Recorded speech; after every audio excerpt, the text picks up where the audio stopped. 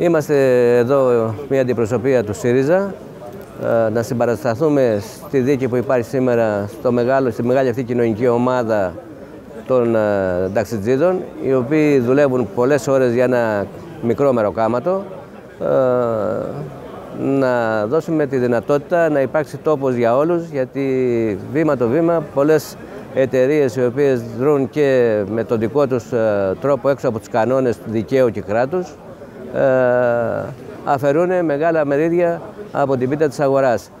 Παρατύπως και σε μια διαδικασία η οποία σιγά σιγά ε, διαμορφώνει μια εικόνα ε, λίγοι να κερδίζουν παντού και οι πολλοί να επαιτούν.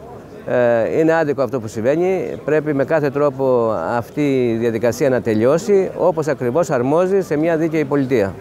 Να ρωτήσω, ε, ποιο ακριβώς είναι το πρόβλημα; Το πρόβλημα είναι ότι αφενός ε, γίνεται με έναν τρόπο ο οποίος δεν φαίνεται ότι είναι και ο απόλυτος ε, συνειφασμένος με την ε, πραγματική εικόνα της, των κανόνων της αγοράς. Ακούγονται πάρα πολλά πράγματα. Πιστεύω ότι θα πρέπει να υπάρξει και η εισαγγελική παρέμβαση, η οποία θα πρέπει να ερευνήσει όλο αυτό το φαινόμενο. Δεν θέλω να προδικάσω, αλλά είναι εμφανές ότι το έχει φτάσει το θέμα στο δικαστήριο, στη δικαιοσύνη, δείχνει ότι υπάρχει πραγματικό πρόβλημα. Θεωρώ ότι πρέπει να υπάρξει μεγαλύτερη έρευνα ε, και να φτάσει σε εισαγγελική διαδικασία ώστε να αποδειχθεί τελικά το τι συμβαίνει.